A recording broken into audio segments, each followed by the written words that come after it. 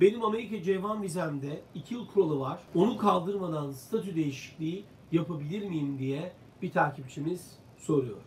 Burada ideal olan şey siz statü değişikliği başvurusu yaparken 2 yıl kuralınızı kaldırmış olmanızdır. Eğer 2 yıl kuralınızı kaldırmamışsanız o zaman statü değişikliği aslında yapmaya uygun değilsinizdir. Bu noktada bizim öngörümüz bundan sonraki süreçte eğer 2 yıl kuralları kaldırılmamış bir durumda ise başvurularınız red alabilir. Bunları tekrar açma durumunuz mümkün hale gelmeyebilir. Red başvuru yani statü değişikliği başvurularınız için diyorum. Dolayısıyla evet e, burada önemli olan nokta eğer böyle bir niyetiniz oluşursa programınız başlar başlamaz bir süre sonra 2 yıl kuralı ile ilgili çalışmaları en kısa zamanda başlatmanızda fayda vardır.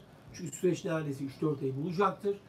Bu sayede programınız tamamlanır tamamlanmaz ya da tamamlanmak üzereyken herhangi bir engele maruz kalmadan statü değişikliği başvurunuzu yapabileceksiniz.